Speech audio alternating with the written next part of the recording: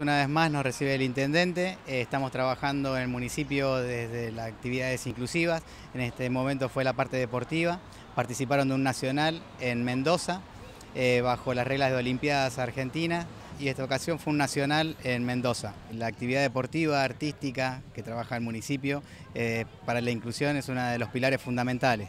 es la actividad que es fundamental para las familias también, no solamente para los chicos.